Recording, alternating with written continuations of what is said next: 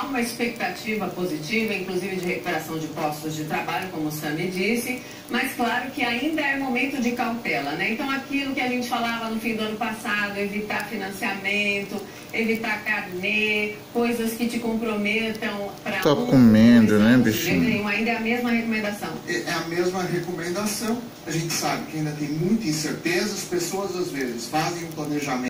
Na turma do terceiro ano dela, no, em Ferraz de Vasconcelos, em São Paulo, é, simplesmente das crianças expressando o que, que elas sentiam quando um amiguinho falava, é, chamava ela de gorda, de negra, de alguma coisa.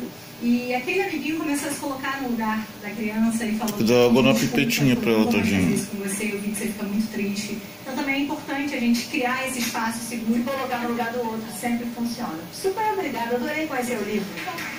Olha só, no próximo bloco, mais música e mais informação.